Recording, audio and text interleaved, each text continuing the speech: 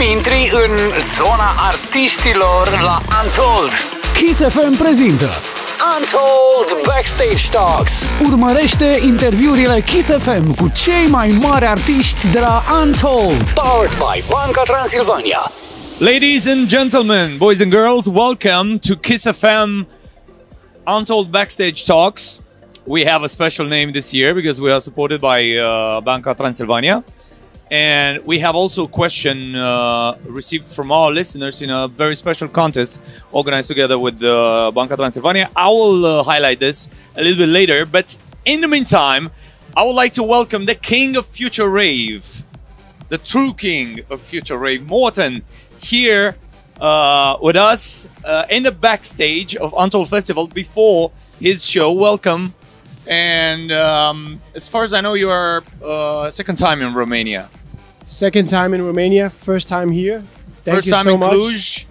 First, uh, when you heard about Romania first time, I, I know it's it's you know a usual question, but what what do you remember from your previous trip here? No, so I grew up in Denmark, so I have a lot of Romanian friends. Okay, Yeah, there's a big I- community there. Yeah, like uh, I, I, I, I'm, I feel very close to Romania. It's not like a, a new thing for me to come here.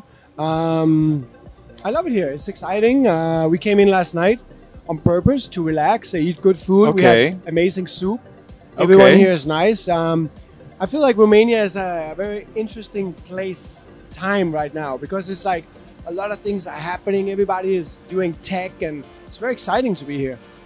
Um, I know you started 14 years ago, uh, but uh, you started both as a producer and as a DJ, as an artist and performer. And the real breakthrough was with this, uh, of course, beside your singles from 2008, 2010, um, with this future rave.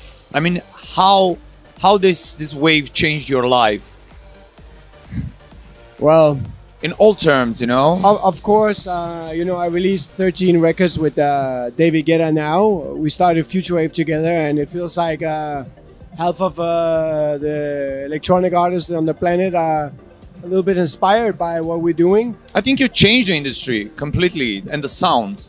If you ask me honestly, as a consumer, Well, I'm happy to hear that. That was kind of one of the goals. We wanted people to start developing. We wanted to people to move away from playing the same record, saying the same thing on the microphone, and maybe not use so much energy and try to create that one moment where we all had to throw their hands in the air and be like three, two, one, let's go, and go a little bit back to that genre of electronic music you talked about, 2010, nine, whatever, where we were just hearing tracks that were like new we hadn't heard before. We were like, wow, sick. I love hearing that. And it's not like we all playing the same records every day. And um, that was the goal for us to make music that we want to play out, and we wanted to be excited about electronic music again. I know you have a residency in Ibiza, and I'm pretty sure when you started as a DJ, you dreamt about of this. You know, what was the first thing you did after your first gig in Ibiza? David Guetta is David Guetta. He's a legend in Ibiza, and David Guetta runs Ibiza. He has two nights, and I'm joining him for Future Rave. Okay. So it's not like I'm falling off the chair, like I have my own residency.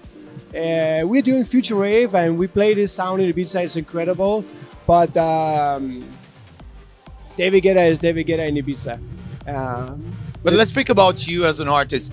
When you had the the first Of real course. hits uh, some years ago, um, what was your initial thought? I mean, have you have you been a little bit scared that this might be the only hit you have? No, I- What what can I do to make it, you know, Yeah. happen again? yeah, I, I, I, I understand what you're saying.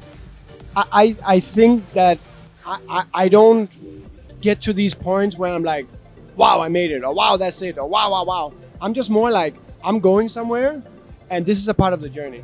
This summer has been like, wow. You know, I played the biggest festivals in the world, and tonight I'm playing after Above and Beyond. Like, are you kidding me? It's, it's incredible Yeah, it's, it's, it's, it's insane. So it's just a part of the journey, and uh, uh, I feel like the, the the more I experience, the more the fun I have, the more chill I become, and the more happy I am, and the more I just want to create music and memories with the people who love electronic music, and we we make music. You know, like it, it's uh, we shouldn't. Ah, we have fun.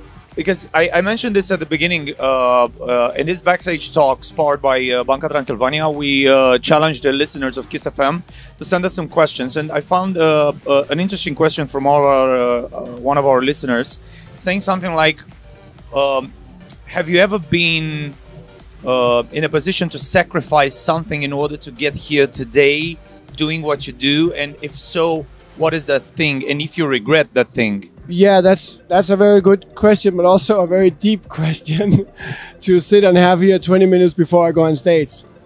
I think we all done sacrifices in our life, and um, I would say the biggest sacrifice for me is to be away from my family and friends because I travel as much as I do.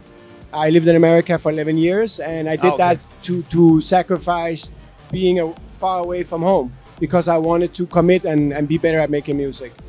It, did I regret it? No. That's a very good answer. the no part, I don't regret it. This is my life. This is what I'm choosing. Do you have any special ritual before your show? I like to have tea. Oh, okay. I feel calm and I feel good. I like to have tea. I never heard that. I mean, it's, it's the first time. I like I you're a DJ having tea. Yeah, and all, uh, uh, and people always ask, "Are you sick? Are you okay?" I'm like, "I'm, I'm great."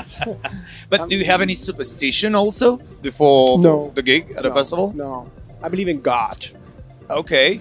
What is the craziest memory you have from from one of your performances at one of the festivals you've been? Um, Because we are at a festival. I mean, it needs to be it's it's festival that, related. like you know. Imagine if you were me. I'm walking on stage playing my own music and people go crazy. It's insane. It's the sickest feeling on the planet. So every every show is like, oh my god, you know, this guy is singing lyrics to my song. It's unreal. Like uh, it's just moments like that is crazy. I just played in Barcelona in front of 85,000 people. They went completely crazy for one and a half hour. Like I, I didn't know what to say afterwards. And now I'm going on stage here in Untold and party with people from Romania. It makes me incredibly proud. Thank you so much for your time here. Thank you so much for your answers. Thank you. I can't wait to see you on stage. Thank you. I appreciate you and thank you for the support and playing my music. Thank you. Thank you. Thank you once again. Hit them hard. Yeah. Kiss FM îți oferă acces total în zona artiștilor. Untold Backstage Talks, powered by Banca Transilvania.